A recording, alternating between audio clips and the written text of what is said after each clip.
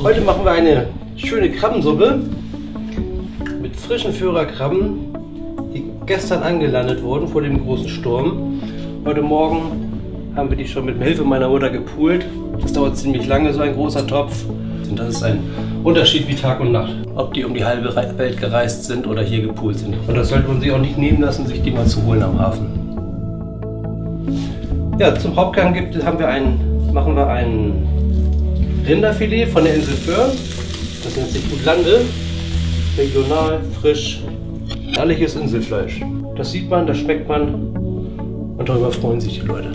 Bohnen, passt wunderbar zu Rindfleisch. Und auf Föhr isst man das am liebsten gestuft, nennt sich das, in einer Sahnesoße. Super knackig frisch aus unserem eigenen Biogarten.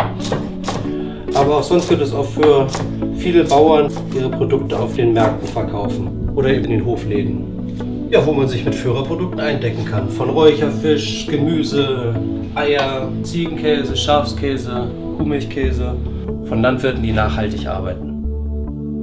Zum Rinderfilet als Sättigungsbeilage machen wir Rosmarinkartoffeln. Auch da haben wir das Glück, dass wir die von Föhr haben. Und das sind immer die besten. Das schmeckt man und da weiß man, wo sie herkommen. Typisches Führeressen mit Führerprodukten.